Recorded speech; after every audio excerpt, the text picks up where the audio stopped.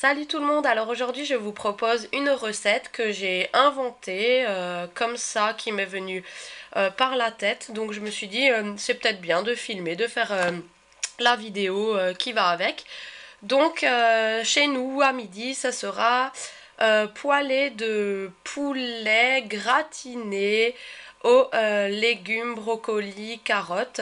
Il y a des champignons et tout. Donc si vous voulez savoir comment j'ai fait ce gratin là, voilà, poêle et gratin, en fait, je vais l'appeler. Et eh ben, restez avec moi, je vous dirai tout. Alors, j'ai émincé du poulet que j'ai fait griller dans de l'huile. Voilà, j'ai ensuite mis des épices provençales, sel et poivre.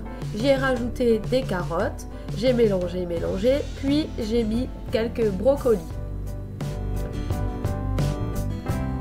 Ensuite, j'ai mis euh, un cubord que j'ai laissé bien fondre et j'ai mis ça dans un plat.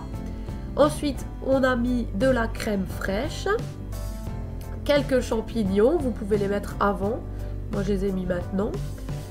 Et puis j'ai juste mis deux rondelles de beurre d'escargot, puis du gruyère et puis j'ai enfourné.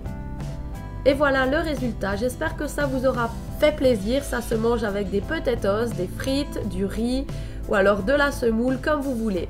Voilà, gros bisous, ciao